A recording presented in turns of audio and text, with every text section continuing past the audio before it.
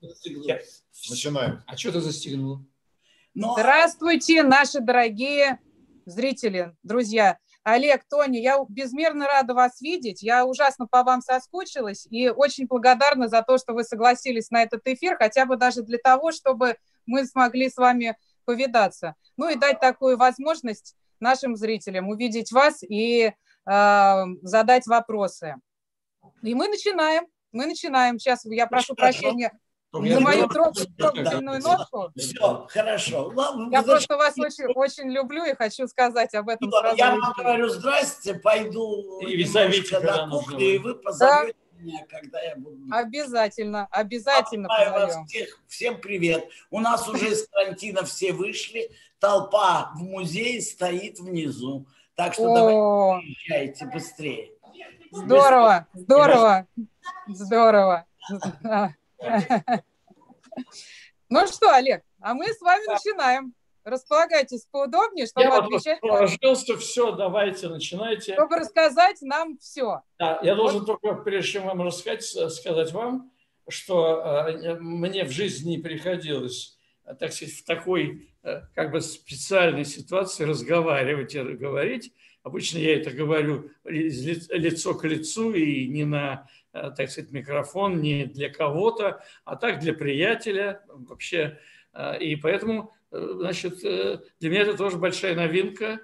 Посмотрим, что из нее выйдет. Интересно. Потом я уже увижу на экране, видимо, каком-нибудь. Выйдет, выйдет все прекрасно, потому что никогда не поздно начинать что-то новое. Вы это Вот, любите. между прочим, между прочим, вот это уже начинать иногда бывает кое-что поздно. Но это кое-что. Хорошо, Олег, а скажите, пожалуйста, вот вы не публичная а, персона, хотя художник а, известный во всем мире и очень востребованный.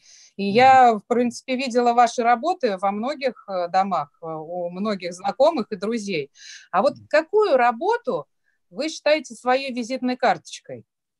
Значит, во-первых, я должен вам сказать, что я придерживаюсь э, мнения, что наиболее на, на все эпитеты картины, известный такой, значит, э, есть такая строчка у Пастернака, она звучит так, быть знаменитым некрасиво. Вторую строчку- не помню, а дальше не надо заводить архивов, над рукописями трястись, а надо до последней, э, за последней точки, что ли, не точки, за последней э, не отказаться от лица и быть собой, собой и только, собой и только до конца. Вот так. Вам это На вашу похвалу я отвечаю строчкой, которую я считаю мудрой. И для меня действительно быть знаменитым – это действительно очень некрасиво. Во всяком случае, это очень тяжело.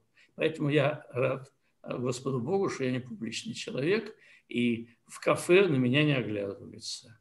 Понимаете? Да, это бывает, это бывает не, не, не очень приятно иногда. Это вообще Иногда. бывает, э, это бывает вообще не только не очень приятно, а однажды где-то в Сибири мы с Евтушенко заш- зашли в какой-то, мы случайно там были, с Женей Евтушенко, зашли в какой-то там э, кафе, там заказали какую-то еду, нам есть хотелось, и какой-то парень подошел, говорит, слушайте, а вы не Евтушенко?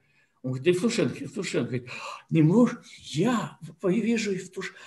А, а, он говорит, знаете, э, Евтушенко ему говорит, знаете, мы тут с товарищем кое-что обсуждаем, довольно важное. Я Евтушенко, ну, пожалуйста, не мешайте нам. И вот он, да-да, извиняюсь, отошел, прошло минуты три, и он подбегает и говорит, только правда, правда, я же, я так вот, я сидел, говорит, я не могу поверить, что я сидел и видел прямо вот около себя, прямо самого Евтушенко. Вот вам, так сказать, что такое быть знаменитым. Это очень-очень, даже, ко всему прочему, некрасиво. Да, да. А, кстати, как вы подружились с Евтушенко? Давно вы? Ну, это было, что называется, очень давно. Он тогда только начинал. Его, по-моему, только тогда выгнали из литературного института. Он же был отсюда изгнан. изгнан. Потом ему вручали торжественные дипломы спустя 40 лет. Там такая у него была судьба. Даже он школы не кончил средней. Его тоже выгнали.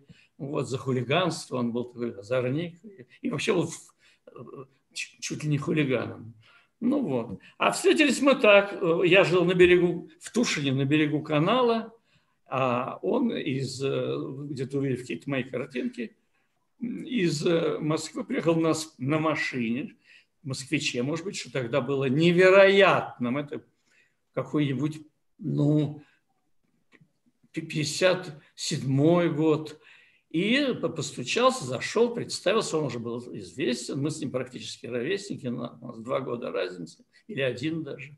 Вот. И пошли, говорит, купаться. И вот это было с, с тех давних пор. А, мы с ним э, очень часто виделись и испытывали друг другу э, большую довольно симпатию, понимая слабые стороны одного и другого, и, так сказать, деликатно относясь друг к другу.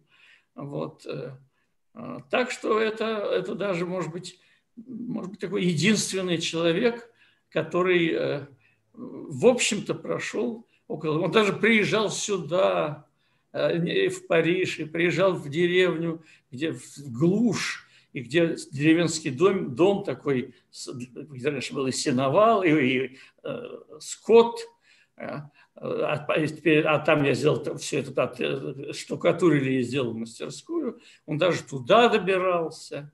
Так что мы с ним практически всю жизнь как пересекались и были знакомы.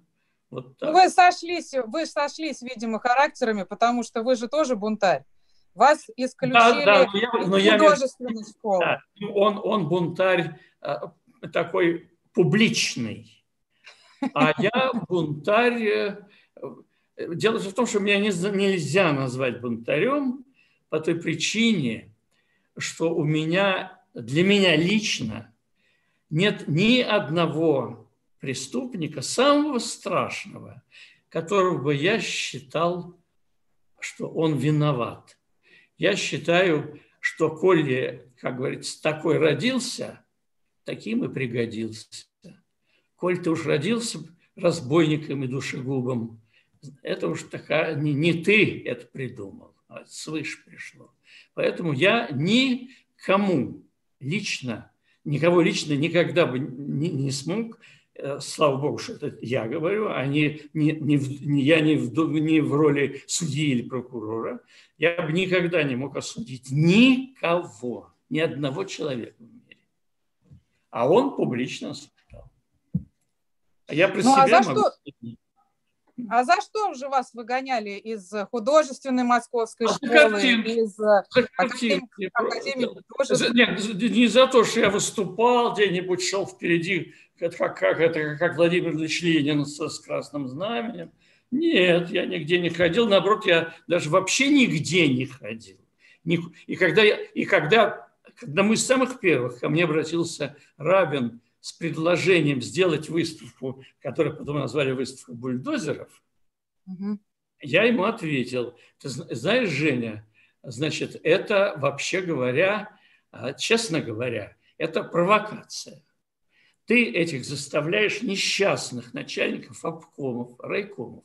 Люди несчастные выбились с большим трудом на такие огромные посты и ты их ставишь в совершенно безвыходное положение. Э, я говорил этому Рабину. Безвыходно ты их ставишь. Что им делать, когда они тебя там увидят? Это, попросту говоря, политическая провокация. В этом я никогда, нигде и никогда не буду участвовать. Ну а за что ж ваш выгоняли-то? За картинки. За, потому что картинки были не похожи на другие. Потому что я, скажем так, когда я поступал, поступал в художественную школу,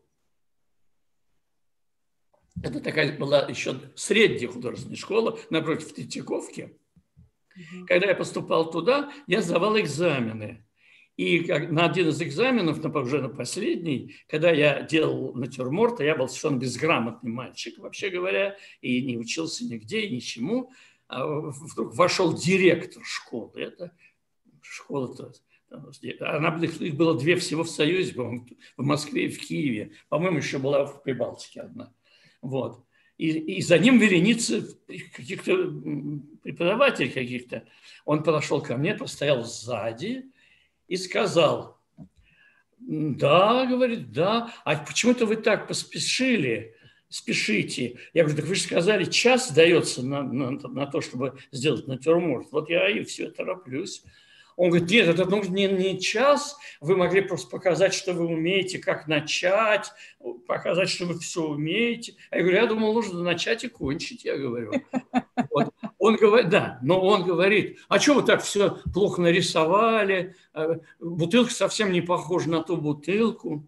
Вот здесь я с восхищением о себе говорю, потому что мне было всего 15 лет, и я не был э, детем философов, актеров, вообще культурной среды. Я был из самой простой среды, которые в сущности до меня были крестьяне простые и вообще вы простой народец. И а, вдруг я директору говорю, а вот почему-то нарисовали так небрежно, так не похоже на бутылку. Я говорю, а вы знаете, говорю, вот если вы это все разберете, то останется мой, только моя картина. А кто будет знать, глядя на эту картину, какой была бутылка? Из зрителей. Стоит бутылка и стоит. Бутылка да. же. Вот, да. вот ответ очень мудрого человека. Я за да. это 15 лет, не будучи подготовленным и не дорожа при виде директора, а я никогда еще нигде не дорожал. Первый раз только в КГБ дорожал, не будем это рассказывать. Там сначала пугают очень. Вот. Не дрожал, а и что-то я сбился сейчас. Ну, в общем, э, ответил, видите, как просто прям, просто, я бы так сказал, по-философски. Да, абсолютно, абсолютно. И вас приняли, и вас приняли в школу?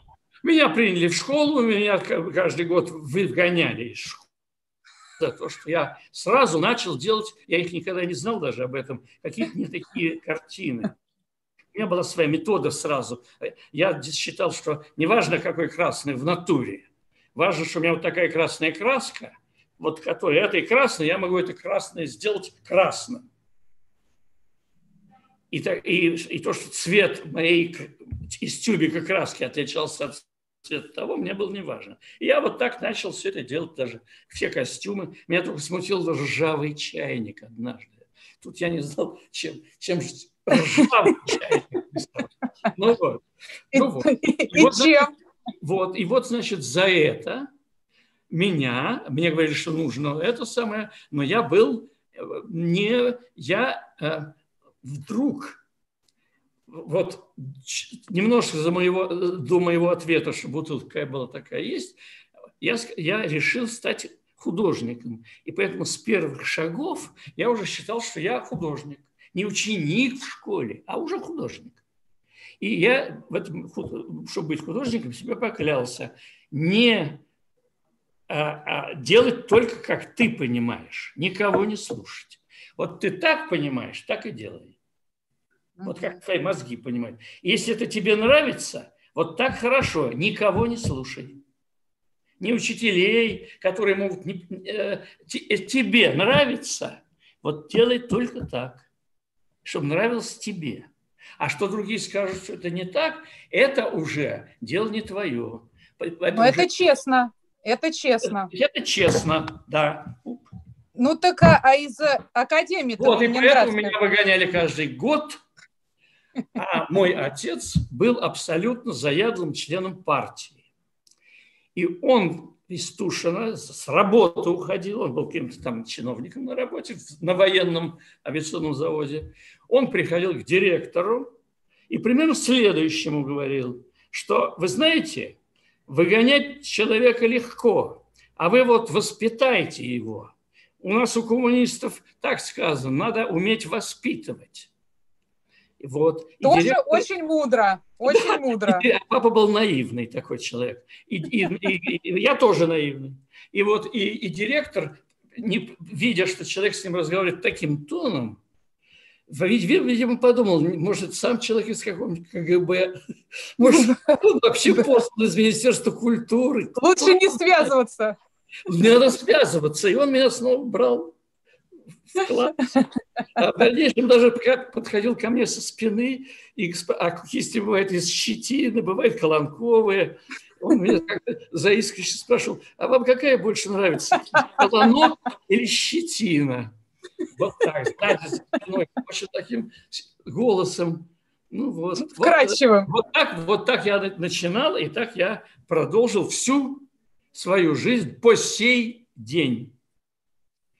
А скажите, пожалуйста, вот э, вы как-то сразу вот нашли вот этот образ, э, с которым вы идете уже по жизни много лет, или, или вот когда, когда вы к нему я пришли? скажу, я в школу поступил, вот значит, считать, что я с этого уже начался как художник. Это был 49-й год.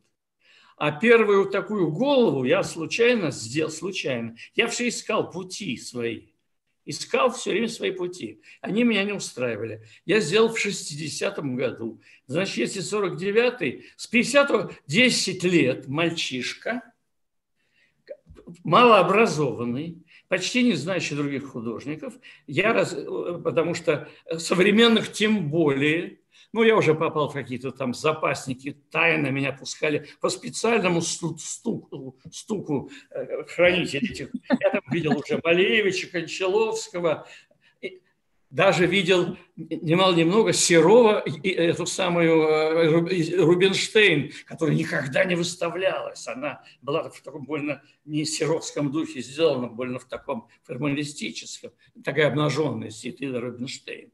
Вот. Там не, в Рубеле не было ни одной картины. Все заканчивалось э, девочкой с персиками Серова.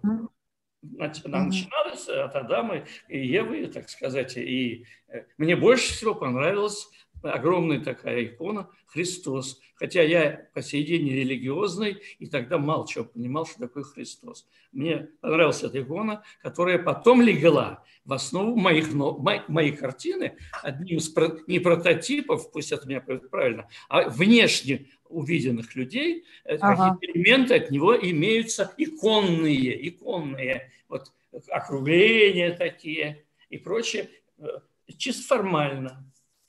И надо сказать, что я запомнил, кстати говоря, что у него было поразительное выражение глаз. Ну, кто он такой, я э, только, ну, ну как мы говорим, не знал. И никто не знал. Мои, мои сверстники не знали. На них росли березки, они были наполовину поваленные, а обычно на макушке росла молоденькая березка, видимо, семена попадали. Вот я ага. проезжал э, на, на, на, на поезде. Вот такая штука. Это был 49-й, 50-й год. И вот он меня практически спас отец. Он даже пригласил, даже иначе я говорит, буду писать в ЦК. Таким образом, я дошел до конца художественной школы, но уже в институте имени Сурикова, без всяких разговоров я получил за все свои экзаменационные работы 2, 2, 5 двоек. Да вы что? Вот да, ничего, так это правильно. Мы были при Сурикове, значит, уже директор, все уже знали, я был заранее уже вычеркнут. Без скандалов, без того, что папа прибежит и погрозится писать в ЦК. Просто да. все двойки. Чего принимать такого человека? Ну так вы же поступили в Ленинградскую художественную а академию. А это уже все сложнее, это долго рассказывать. Это вступился э, э, художник лауреат социальной премии одного моего близкого приятеля, который сказал, вот учись у Олега, папа сказал сыну. Вот как нужно, вот как нужно брать. Вот так вот смелее. Лешка его звали у них дома в мастерской отца. Смелее, Лешка, а сам он, отец тоже очень серенько рисовал. Давай, говорит, Лешка, вот, учись. Ну и когда он узнал, что я не поступил, он обратился к Агансону, а в это время открывался в Минский институт, и я решил, что там я, в Минске, они, это провинция, вот там я перед теми, они напуганы, что э, они провинции, они какая-то республика, вот там-то я развернусь в полную силу, пока они ничего не поняли. И поэтому, когда я приехал, Забавно. один из экзаменаторов сказал тоже ребятам, во как в Москве-то теперь пишут.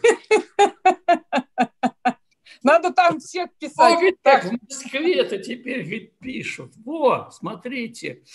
Одно в дальнейшем, э, я был через год исключен, я могу это рассказать, это довольно смешно. Дело все в том, нас отправили в деревню, все, ве- весь курс под названием Киселит, хорошее такое название. Там речка была, обозы стояли, мостик. И там был такой старый преподаватель, у которого картина в Минском музее висела «Освобождение советскими войсками от фашистов Минска, города Минска». Он такая вот совершенно, совершенно такой соцреализм, только такой ослабленный, такой немощи. Он уже был пожилой. И он э, ходил, смотрел, кто чего делает, все писали пейзажи, речку. А, и, а он, э, значит, этот педагог говорит, вот смотрите, и сам поставил холстик довольно маленький, а холстик и тоже. И вот он говорит, смотрите, как в природе, смотрите, скопируйте ее до точности. Смотрите, а перед ним стояли 10-метровые ивы. Я все думал, и он все что-то примерял на своем холсте, ну не маленьком, но вот таком холсте, как сзади меня. Эти ивы, там так, вся эта речка вышла, вся это вот в мою, это такая вот мостик получался. Он все перерисовывал, уточнял, а впереди лежали камушки, и вот он рисовал камушки, и, э, э, значит, потом собрался и ушел. А я, слушая его, подошел, и два камушка ка- таких, не маль- ну, небольших таких вот, на которые попали в его картину, снял и кинул в ручей. И на другой день я пришел э, э, к нему сзади, встал. Он меня не очень знал и отличал. Он просто был преподавателем и самым стариком в этой, в этом, в этой новой, новой академии художеств, которая сейчас уже... А это было, в общем, новый, новый Суриковский, скажем, в Минске. мгм. И он, значит, я стою сзади него, и он доходит, границу, проверяет, и видит у него здесь эти э, вместо камушек голые места с землей такие. И он начал кисточкой долго подбирал. И эти два пяточка тратил почти весь сезон прямо крапинками. И все вглядывался, и все вглядывался и заделал. А я тогда, когда он ушел из ручья, сколько было сил, вывалил прям ему под нос несколько здоровых валунов белых. Когда на, третий, на второй день я подошел, он, значит, смотрит, потом, что это, говорит? Это кто сделал, он говорит. Я, говорю, я смеюсь, говорю, но вы же говорили, что с натурой надо прям все-все делать как можно точнее. Вот я взял вам и вытащил эти два камня. И видите, все равно красиво, а? Ну вот, и я был исключен из Минска и отправился. Хулиган вы. да, вот такой хулиган, но это не хулиганство, это, в общем, даже опять тут довольно хитро и умно. Получается, сейчас я, я же мальчишка, там мне 19-18, я э, не, не сын, так сказать, э, оперных певцов, там, которые по миру ездят. Ну, и, кстати, в нашей школе учились какие-то дети Дунаевского, там много кого училось. Она называлась художественная школа. Первая, э, кто же мне говорил, школа детей, одаренных родителей. Ну, Понимаешь? понятно, Вот так. понятно. А, Ну, там учились несколько таких, как я. Понимаете? Вот. И, значит, я из этого Минска, значит, мне Иоганн Сон сказал, приезжайте, я сделаю все, чтобы вы поступили. Сам Иоганн Сон был очень важным, имя это уже не, не знаете, самым важным человеком в те времена. Вот. Я приехал, и он, идя по коридору, с- с- с глазами вниз, а я стал находить, вытаращив глаза, и так даже рукой что-то делал малая. И он вдруг глянул так на меня и говорит, я все сделал, чтобы вас приняли. Какую кончаловщину вы тут развели у нас. Кончаловщина – это Кончаловский, который тогда единственный был академик, выставлялся. И действительно, я, мне некому было тогда, более выше фигур у меня не было, я действительно работал а-ля Кончаловский. Мгм. Вот. Какую кончаловщину вы тут развели. Ну и, в общем, вот так вот. А еще через год меня выгнали из Академии художеств. За те же, за те же картинки. За те же картинки, которые я уже писал не в классе. В классе, вернее, я писал. Одна стояла на мольберте, а моя стояла, чтобы педагог не ругался, у мольберта. И когда он ага. входил, я быстро менял картины. И он это заметил. Он подошел, у меня стоял серенький холстик, там портрет с натуры писали. Серенький холстик.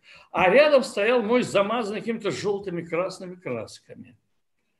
И палитра вся была вымазана этими зелеными, красными, синими. И он, видимо, догадался. А я испугался и решил делать это только в общежитии. И когда я был в классе, я делал серенькие штучки, а как только было свободное время, бежал и на своей кровати, на одеяле, которым я укрывался, раскидывал краски, ставил холст к стене и писал свои картины. Одна из которых вот там в углу и висит, автопортрет называется. Но однажды в комнату ввалилось человек 10 китайцев. И они стали кричать, где он, где он. И один из наших сказал, да вон он сидит на меня. Хм. Они, они оглядели стену, подошли ко мне, китайцы, и сказали, а что ж вы так густо краску накладываете? У нас в Китае краску бережливо используют. Неэкономно. А? Неэкономно. Да не экономно, густо. Я говорю, ну это так, моя манера такая. Они говорят, ну да, манера, манера. И ушли. А еще через некоторое время я получаю приглашение в военкомат. А еще через некоторое время меня встречают красивым. Тогда меняли органы, меняли. Это уже был 50, когда меняли? 57 что ли? Органы меняли на, на молодых. Красивый молодой человек сказал, да это не военкомат, и я вас позвал. Ну и он меня стал спрашивать и предложил мне, тогда был фестиваль молодежи и студентов в каком-то 97 году. Ой, и я не сказал, помню. А? 57. Вот, в 57-м. И он мне сказал, вы знаете, вы же из Москвы? Я говорю, да. Вы на фестиваль поедете? Я говорю, да. Он говорит, а вы не хотите поехать, вы будете, ну, в, в, как это называется, в, в, во главе группы, ну, часть, часть это, э, группы, ну, то есть, э, я говорю, и что там делать? Он говорит, ну вы же знаете, ведь к нам сплошные шпионы едут. Вы будете наблюдать, будете нам докладывать, и вам среди ваших товарищей будет это. Я, а я так испугался искренне, как может испугаться молоденькая девица невинная, которую вдруг потащили в постель неожиданно. Видимо, видимо, я был в такой растерянности. Я сказал, вдруг сейчас запинаясь, нет, я в Москву уже раздумал ехать, нет, нет, не хочу. Что-то такое уже откровенное. Вот. И э, э, это самое вот это так моя встреча. И я был из Академии художеств просто исключен. Опять двойки мне поставили, двойки вот в конце года, и все. Все педагоги.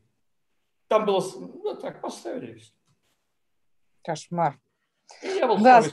и попал к Николаю Павловичу Акиму в театральный институт. Да, вы же он... такие, вы такие его закончили.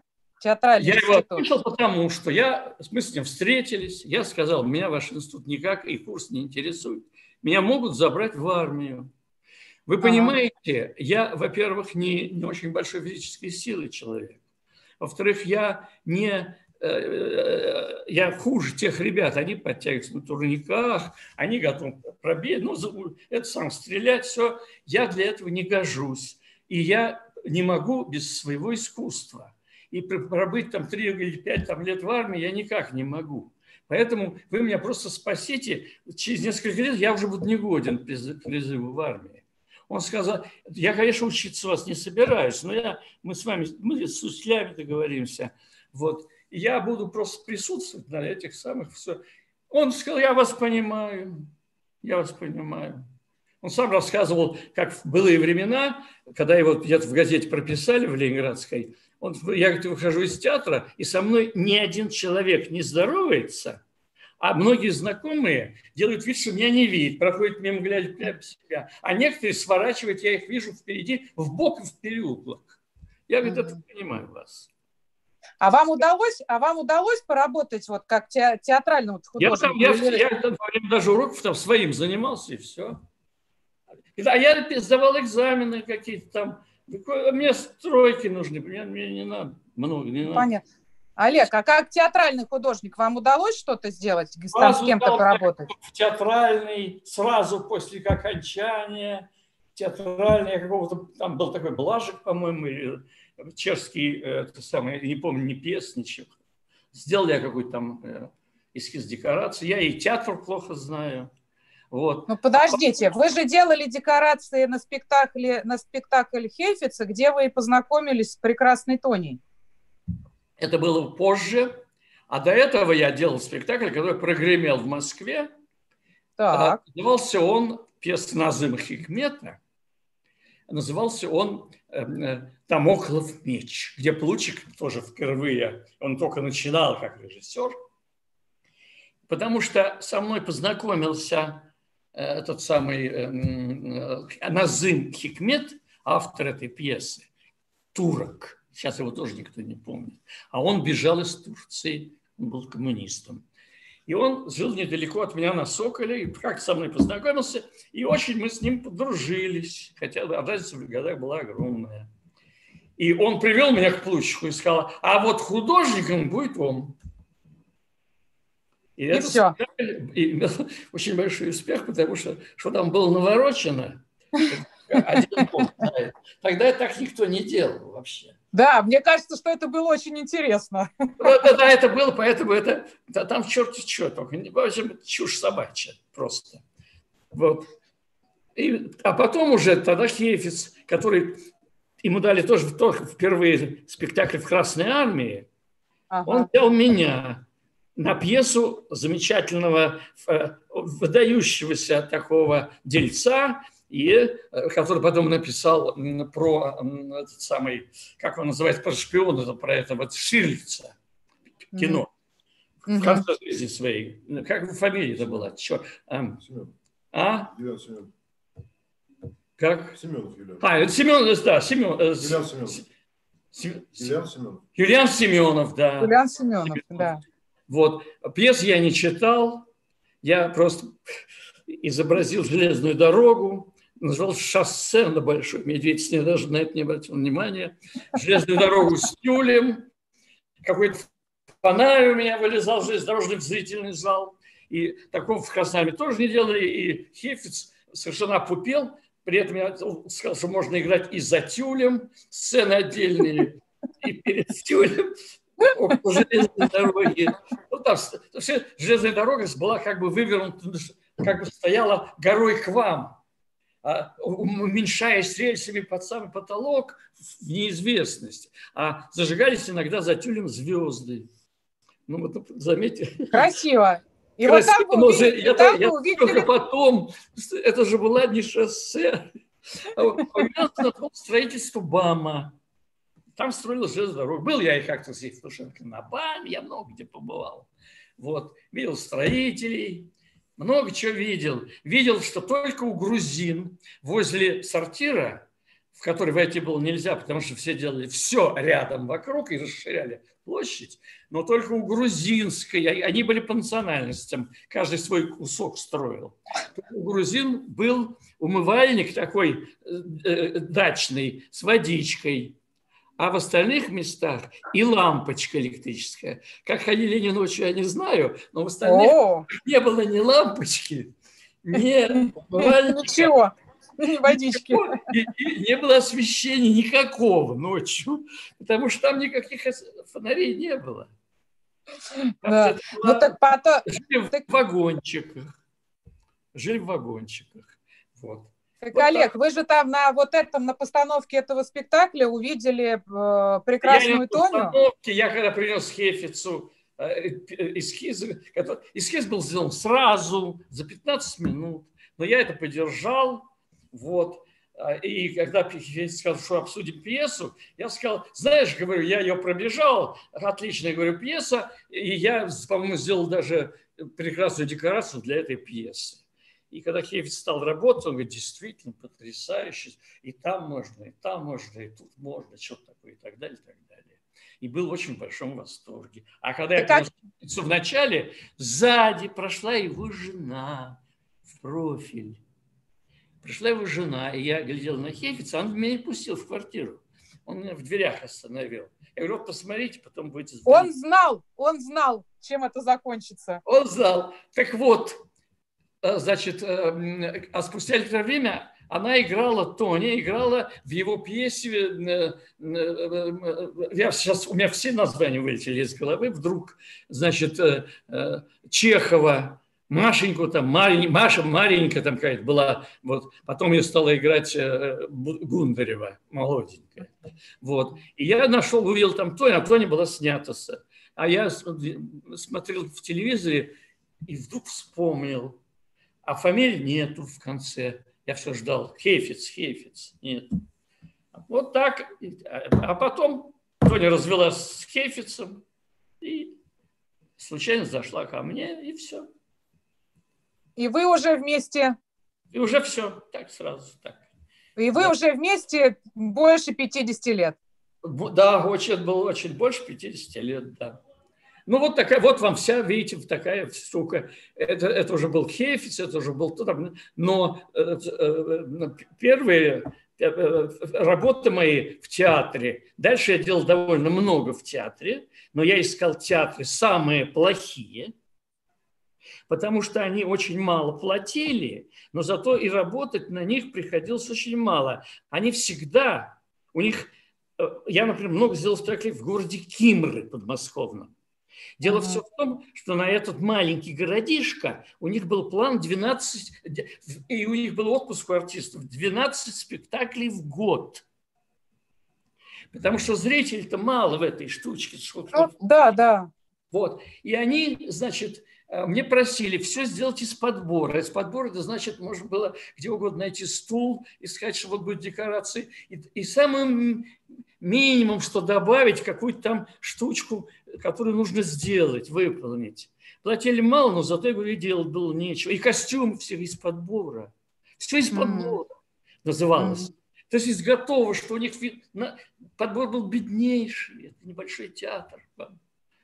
И таким образом я к ним приезжал, пил там с утра до вечера водку с актерами, все они были невероятные пьяницы в свободное время, между репетициями сидели, так сказать, тесным кружком. Вот такая штука. И вы, вы продолжали, вы продолжали искать вот этот свой образ, и вы а образ нашли... это все было дома. Это, я образ, образ я нашел в 60-м году, просто нарисовав одну из картинок. И вдруг вдруг там было два лица, вот тут два лица, вот два лица. И вдруг я, это была очень интересная штука, я вдруг увидел свой путь.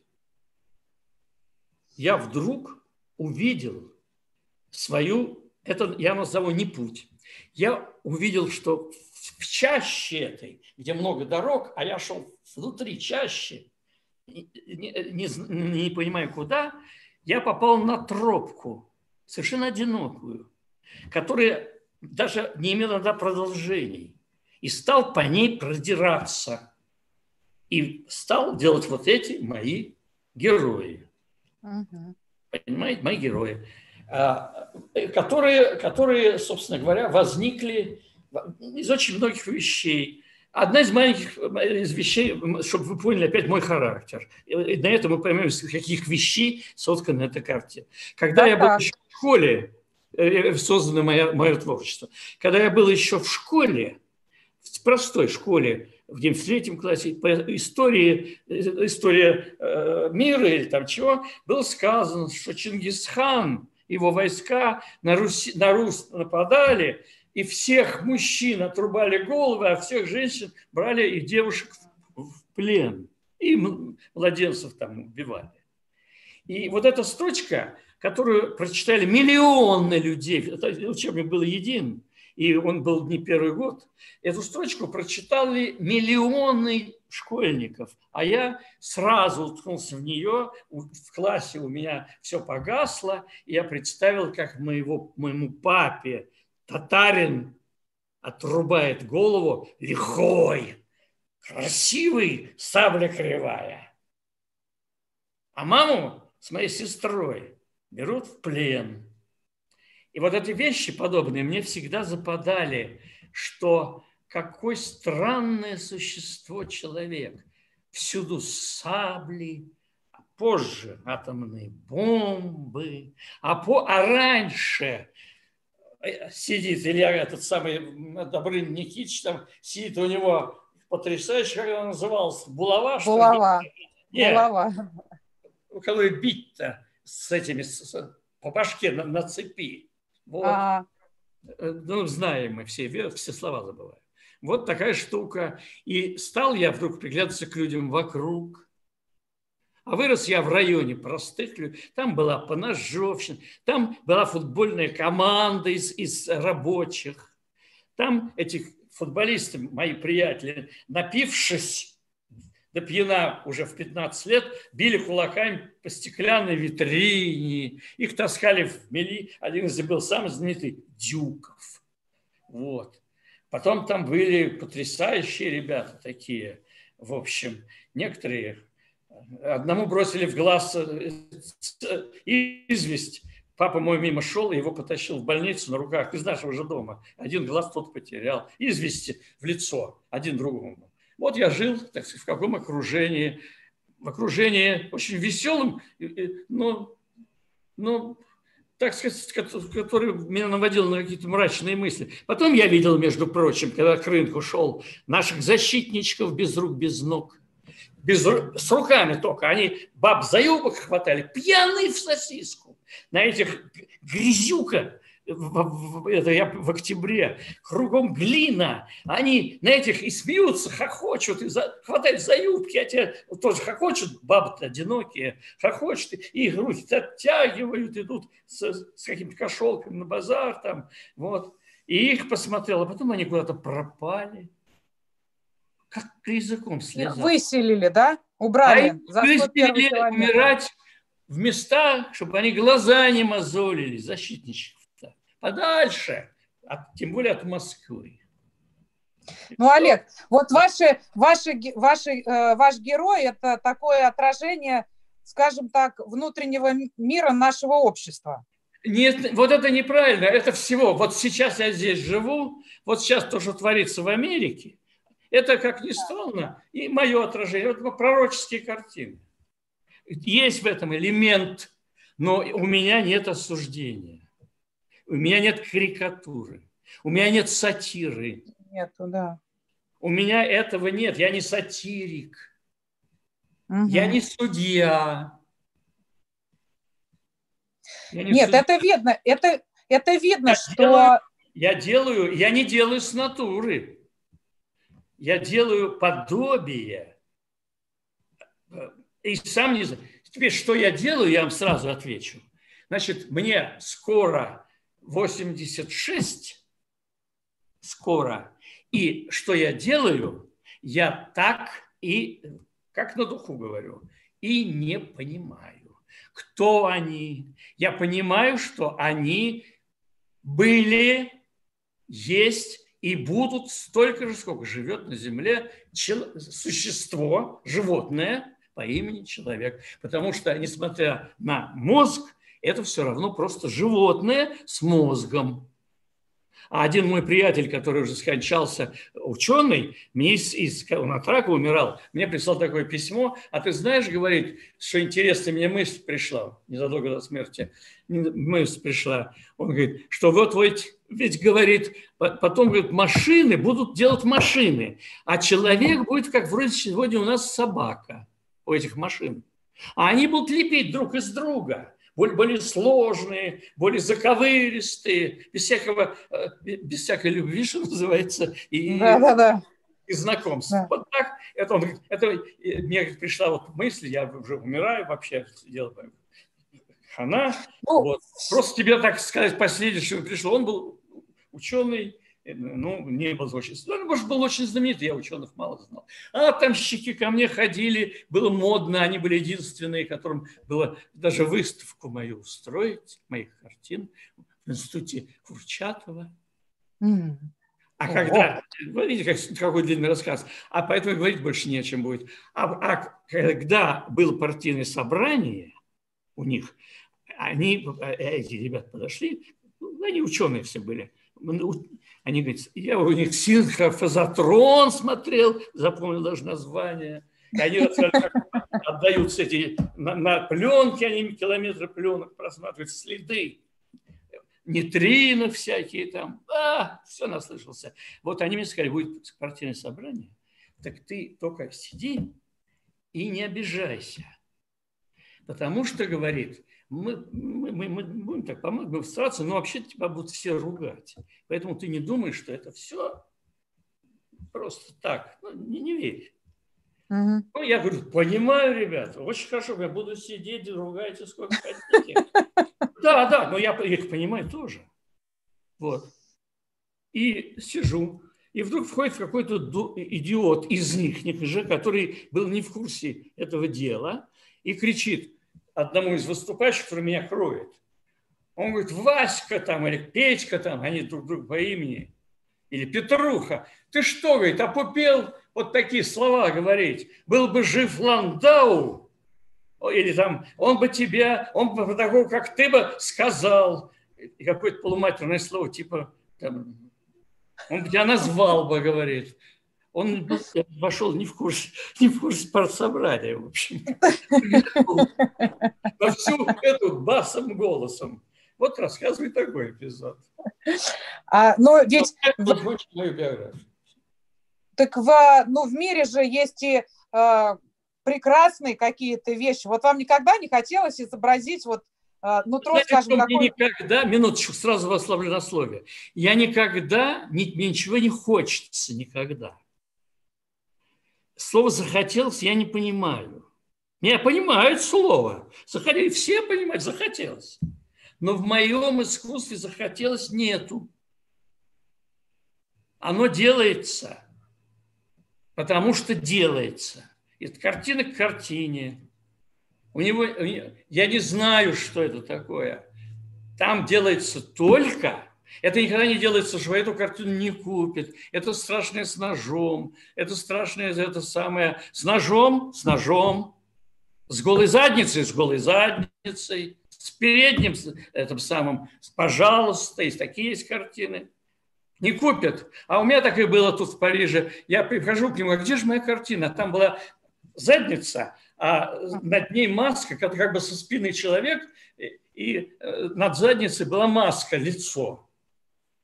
То есть назывался на маскарад. Голая задница, ну, как, так, на холсте. А выше, на спине это лицо на веревочке у меня. Там через ага. Маскарад. Я говорю, а где же моя картина-то? А у меня были все эти русские художники, был в Париже, значит, тоже, так сказать, э, и он уже умер. Он говорит, э, э, значит, да, она это у нас там, там в той комнате. Я говорю, а что она не здесь, вот все висят? Так у вас же это, это уже в Париже. Это у вас же это, ну... Ну, ну да, она, да. Вот, понятно, в Париже, в культурной стране. Понятно.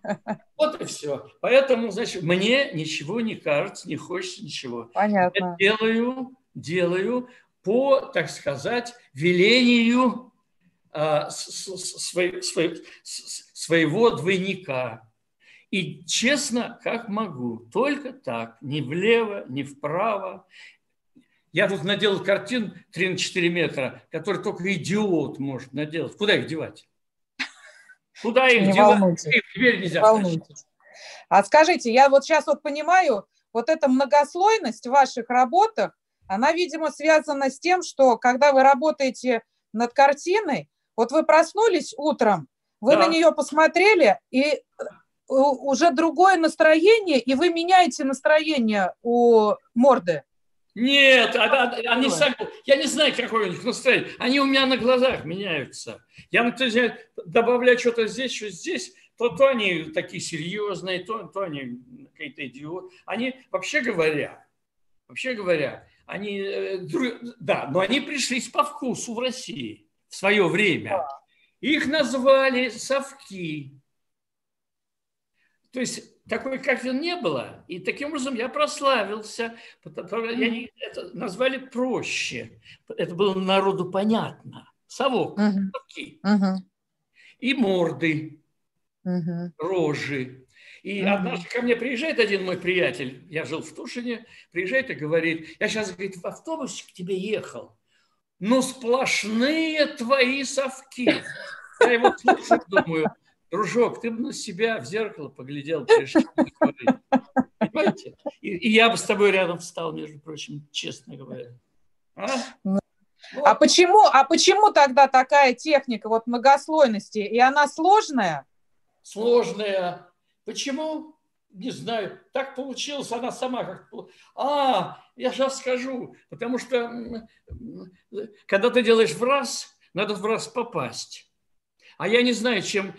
Ну, закончить нужно. Нельзя так... В общем, мне сделалось так. Так как я, я устанавливаю, как бы сказать, рисунок, линию, это мне понятно. А вот что там будет внутри линии, лицо будет, у него будет рот смеяться или скривиться, у него глаза будут косые или, так сказать, на лбу, а другой на подбородке. Этого я заранее не знаю. Поэтому я это все намечаю тоненько, намечаю, и легко это потом стереть. И получается, что постепенно наращивается цвет к цвету, сильнее, сильнее, тут почерней, тут покрасней, а тут вот э, надо вообще все э, пустить в, серое, не в цвет серое, а так, чтобы он не мешал, вторым планом был. Но все это возникает не в замысле в начале, а по мере продвижения по холсту. Поэтому холст пишется. Бывает и да, так, вот такой холст, он может стоять на мольберте до трех лет один. Но он не один стоит, а стоят штук 15 холстов, которые вытащил, поставил, опять убрал, потом вот этот, а вот этот я сделаю. Они То есть вы возвращаете постепенно, постепенно, а потом вдруг я вижу, больше я лично тут не, холст не очень удачный, но я не, исправить его я не могу. И тогда я вместо того, чтобы уничтожать, как я делал в самом начале в художественной школе, и в первые шаги, все уничтожал под гребенку. Вместо Ни одной работы не осталось. А? Ни одной работы не осталось. А, ну, нет, вообще даже ни одной. А я их все свернул, между прочим, можно ну, поискать. В этом канале от в одном. Я бросил их все в такой, сделал большой рулон, туда бросил, э, сделал веревками, то, а внутрь, чтобы кирпич. И с моста, был такой день, с моста, вижу, там никто, людей было мало, я зашел, не, тут на, на берегу не шиту, тут завод, тут никто не видит. Какая-то фигурка там была, но я не помню. Я, значит, штуку еле поднял с моста, буль, а он как бух вода, такой буль. Я думаю, никто не видит. И вдруг вижу, а там человек обернулся и внимательно всматривается в меня на мосту.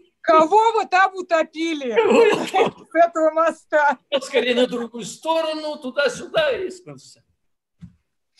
Да, жаль. Олег, а скажите, пожалуйста, вот меня мучает вопрос, да. ну, все время, а вот что такое современное искусство и как, а, и как отличить искусство от подделки? Вот на ваш взгляд. Я отвечаю вам на этот вопрос следующим образом.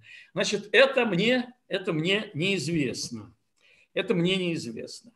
Значит, а настоящее искусство отбирается с последующими поколениями.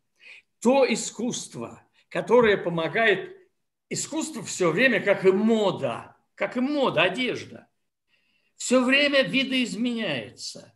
Потому что, почему меняется мода? Старая мода надоедает.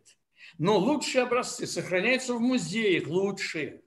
А многие, которые не приняли лучшими, погибают. Не попадают ни в музей, так на помойку, уходят незаметно.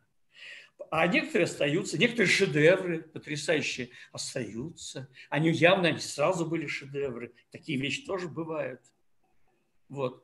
А, значит, как мода. Все это меняет. То пуговицы большие, то серебряные, то это. Иди отличи пуговицу. Э, э, э, эта пуговица лучше, а это хуже. А, а другая вообще без пуговицы. А у третьего и вообще и вперед и зад открытый монт такая будет, знаете, а все остальное угу. будет в броне. Да. Ну, вот так. И будет номер один, номер два.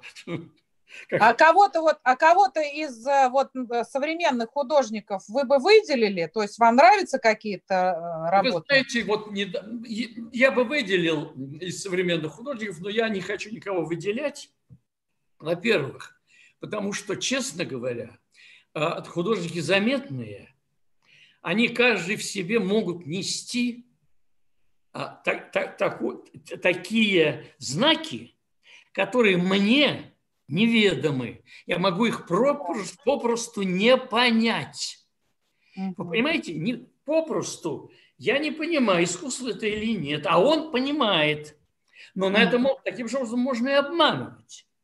Но дело все в том, что, как правило, обман, обман, об, обман не проходит здесь, потому что у обманщика нет такой не, это не фантазия, это не придумки, это, враж, это внутреннее человека прет. Внутреннее. Я привожу пример самого моего любимого художника Ван Гога, который начал первый, первый рисовать в 27 лет, а в 36 уже на тот свет сумасшедший отправился. 9 лет был в искусстве всего. Из них 4 года подучивался, где-то подсматривал. Он был и пять лет шедевр на шедевре. А кто его при жизни заметил? Ведь жили умнейшие люди, импрессионисты. Кто, кроме дурака, там какого-нибудь Гогена, который тоже был дураком, и этот был больной, алкоголь. Он же ведь не вылез, он же сосал с утра до вечера, слушай, запрещено этот самый э, э, абсент. Абсент. Да, с утра до вечера. Он же отрезал себе ухо и сделал автопортрет. Но ведь это получилось. Это не получится отрезать ухо. Тут одна рассказывает, самоубийством кончил на вернисаже. Во, жест какой. Никто не звучит. А он и ухо отрезал, и звучит. Вот это настоящее. Я теперь... Я, я а, теперь... А, люди, которые подошли на, в те времена, они за художников не считали. Сумасшедшие. Сумасшедший. Сумасшедший, что возьмешь? Вот Я вот теперь знаю ответ на мой следующий вопрос. С кем бы вы хотели из великих выпить водочки? С Ван Гогом. Хотел, я уже забыл. Хотел выпить бы... водочки вы бы... И с кем бы из великих вы бы хотели выпить водочки? Да, но между прочим, так сказать, э, есть такое выражение, анекдот. Там один парень приводит подружек, и говорит, «А, э, две их, а мы с тобой будем тоже там. А он говорит, а вдруг моя не, не, страшненькая? Он говорит, ну выпьешь побольше, и все сойдет. А э, э, открывает дверь, и одна девица жутко страшненькая. И этот, который посмотрел, говорит, я, говорит, столько не выпью.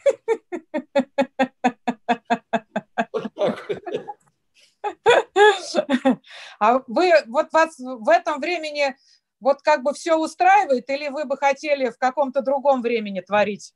Нет, нет, нет. Времени выбирают.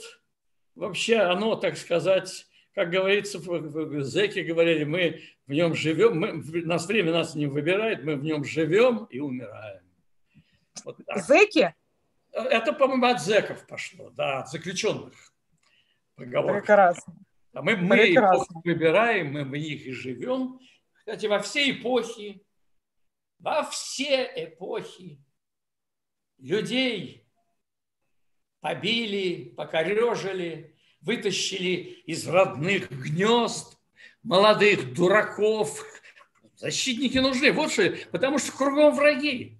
Ну что делать? Как без солдата обойдешься? А он живой человек. Да еще при этом в деревне дурковат маленько. В академиях не учился, университетов не кончал и, вот, и, и нашпиговать, каким фашизмом не хочешь, легко. Любым фашизмом нашпигуешь. Да, да. Красиво, если красиво говорить, кого хочешь обделаешь. И он тебе на смерть пойдет. И творится так не, не, не у кого-то, а у всех абсолютно поголовно всю историю человечества. Всю. И нет прогала, чтобы этого не было. И приходится, защищаясь, творить то же самое. И, и крушить их. И уничтожать врагов. И резать им глотки, и вылезать им звезды. Красноармейцам вызывали белогвардейцев. Свои же нации одна. Э, звезды, а этот, этому орла трудно выразить, правда. Я говорю, вот так вот жили, вот так вот жили, и живут, и будут жить, вот в чем несчастье. И будут жить. Все. Дальше ну... я, вот поэтому э, я и говорю, что я сейчас смотрю, в моих картинах очень много правительского, не, не, не, не, не издевательства, я говорю, не сатира, правительское. Люди – вы так и по-другому люди. Волки, есть волки, жить по-другому не могут. Червяк только так живет, как червяк живет.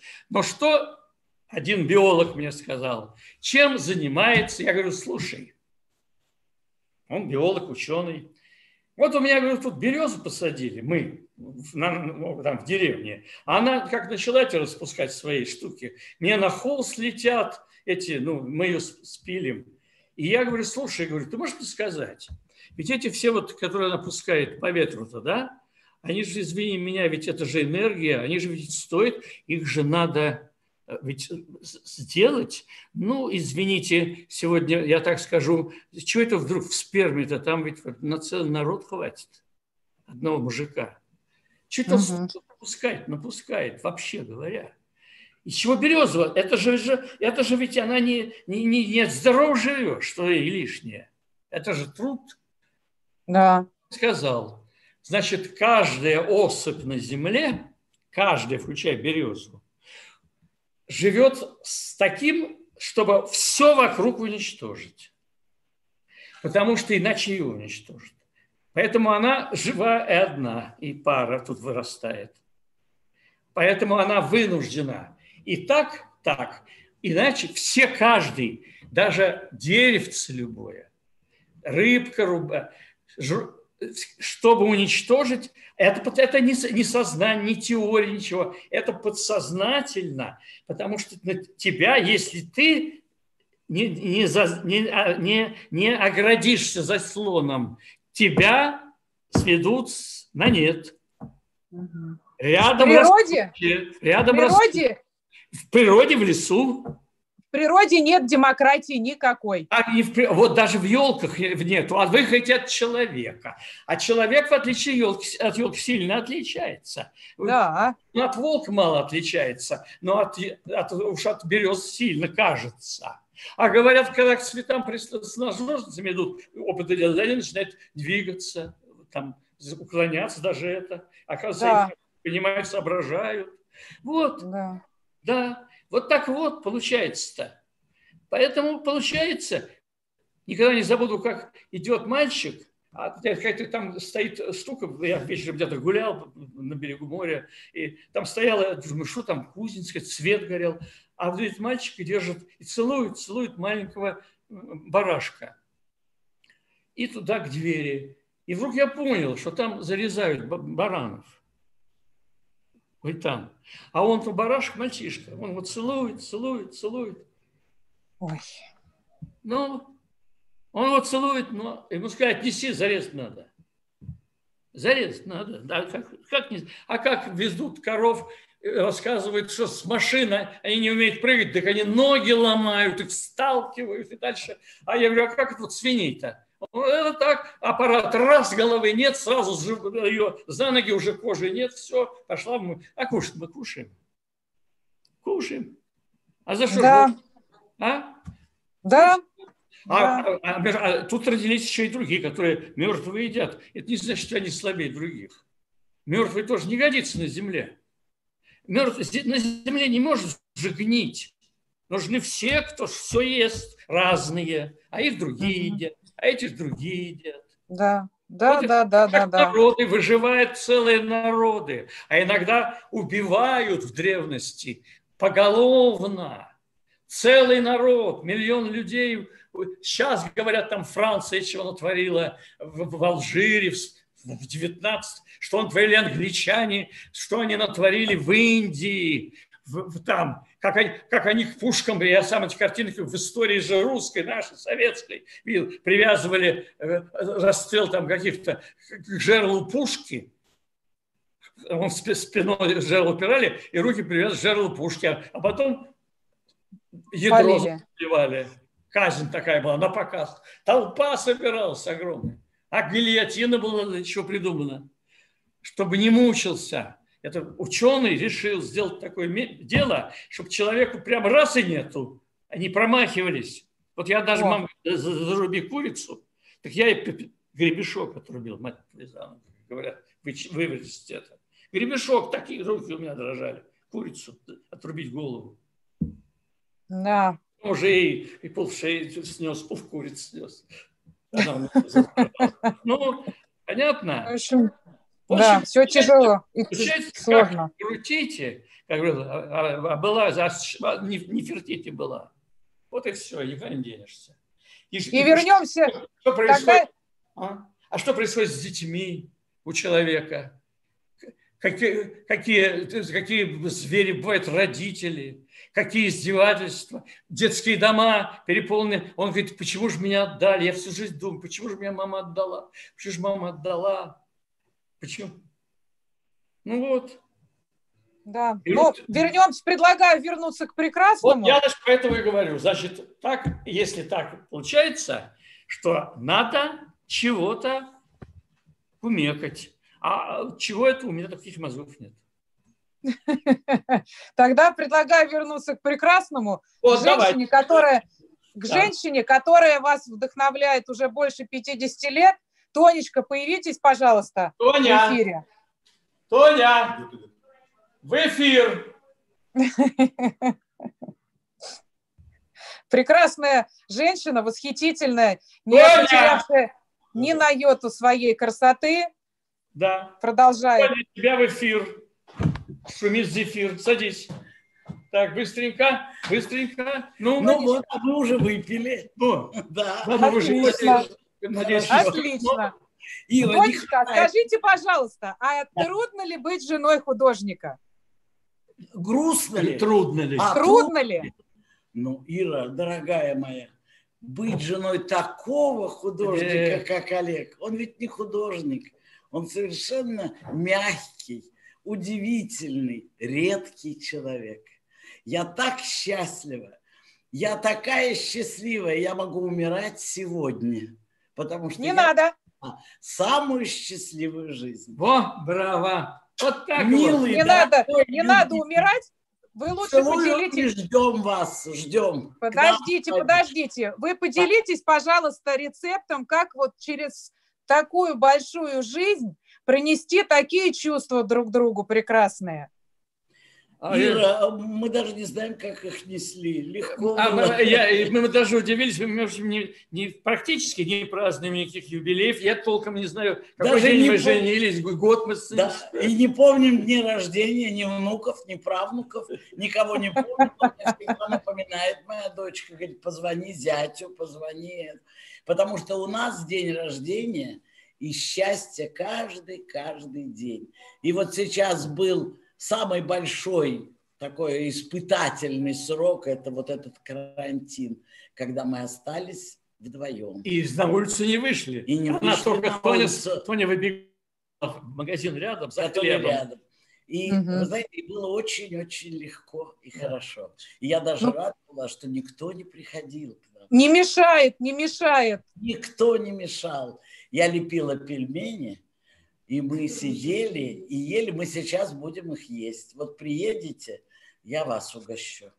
С удовольствием. Обнимаю вас, люблю. С удовольствием. С Олегом. Тонечка, я- Очень-очень легко. Я желаю, чтобы у всех были такие мужики, как мой Геркулес. Вы такие прекрасные, я вас очень люблю. Ну, А спасибо, что вы позволите? спасибо, что вы его тоже не Подождите, у нас есть вопросы от зрителей. Подождите, да. еще буквально несколько минут вашего внимания. Олег, а в каких музеях есть ваши работы? Ой, в, в русских совсем недавно. Я, знаете, тоже не очень. Значит, я знаю, что во всех в русских музеях совет, бывших советских практически во всех. Вот, а, а, а вот здесь очень хорошем музее. есть, я даже наизусть некоторые вот не правда, знаю. Я никогда не придавал этому значения, это правда. Хорошая, хорошая картина в Стеделик музеум, это Амстердам. А здесь вот хорошие картины и в Третьяковке несколько штук, и э, в Эрмитаже. Мне недавно прислали, что они мне задокументировали, в Эрмитаже, в, в русском, значит, в Пушкинском, в этом самом, во всем этих, э, в современных нет. Да. Найдет Но свое... Дело все в том, что да. я этим, этим вообще не занимаюсь. Я, значит, заним... я не занимаюсь в сущности продажей картин. Это просто приходит ко мне иногда люди, которым картина нравится. Вот.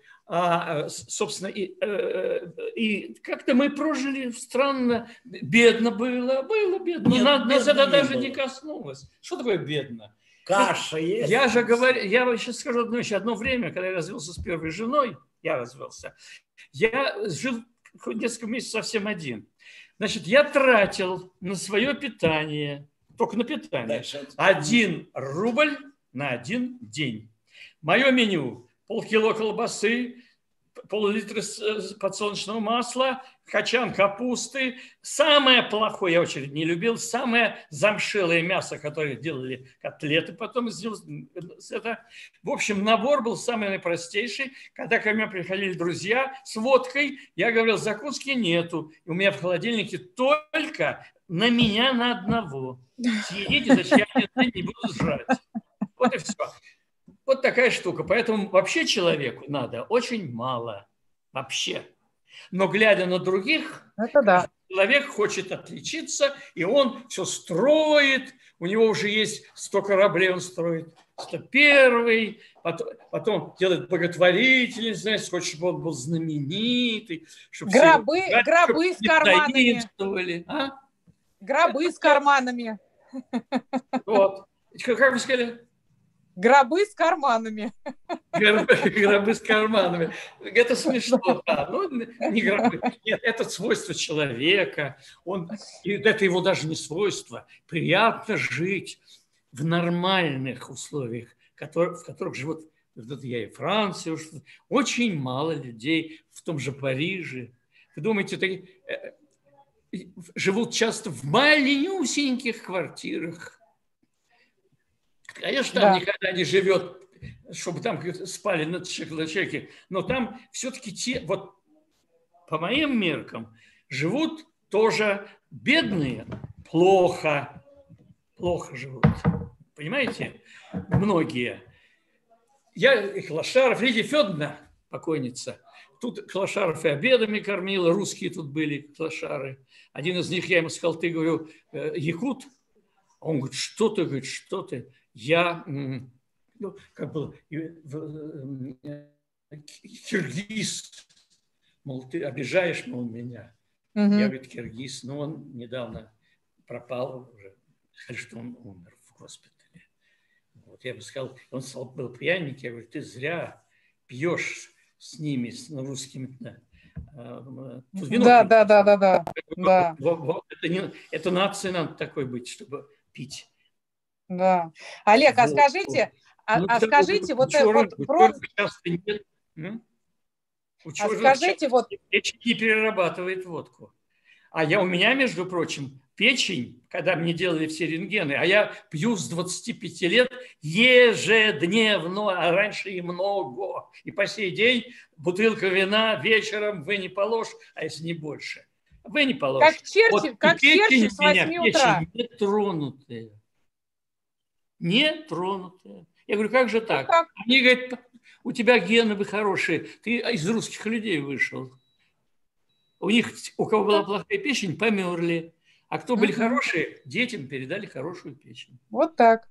Вот. Олег, а скажите, пожалуйста, да. а вот бронзовые, вот спрашивают здесь, бронзовые керамические фигуры, фигуры, это по вашим картинам кто-то делает или это ваше производство? Я дело в том, что несколько штучек я сделал, больше не буду делать. Я лепил практически сам, но с, с помощью человека, который там гипс я уже не, уме, не умею, но везде, если я не умел, то помощник, я говорю, ты знаешь, вот здесь что-то выпирает, он брал там шкурку, так, так, я говорю, нет, вот еще здесь, так. Во всяком случае, работа моя, работа моя, но больше повторять это не буду, потому что это нужно отливать, потом это можно с моих слепки делать, делать эти самые фальшивки, да. Фальшивок у меня живописи во.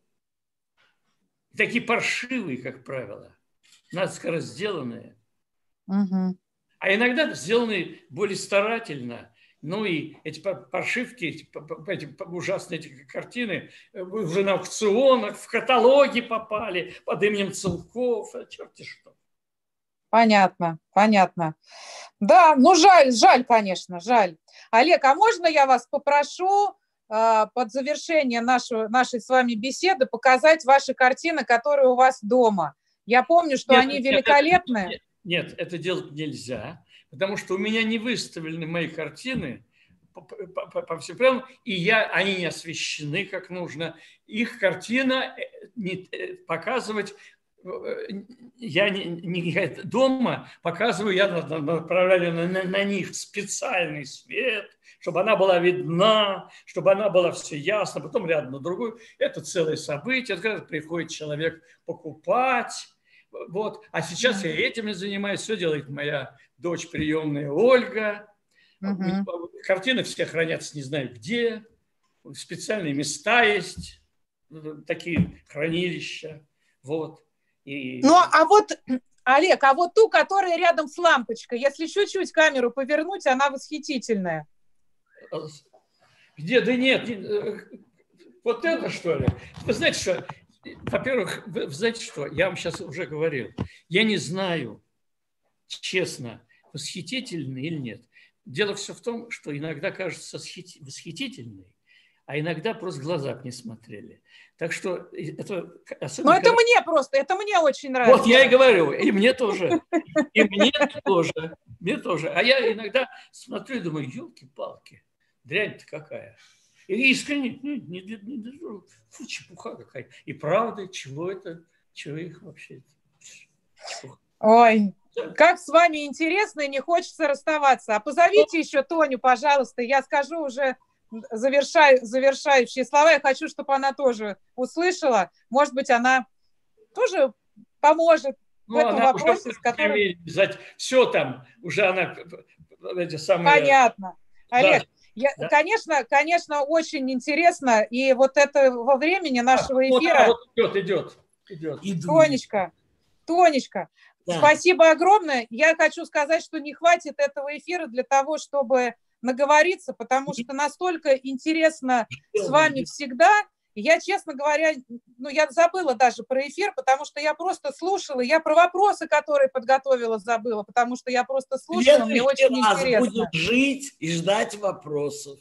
Я, я, не знаю, очень... я не знаю, это самое, во всяком случае, я вам рассказал, а, Он не даст говорить. Я вам мне. я рассказал. Ира, вам. я вас люблю и всех давай, зрителей. Давай, давай. И люблю Россию. Да. Это мои корни. Ну, и пусть это будет все-все хорошо у вас. Спасибо.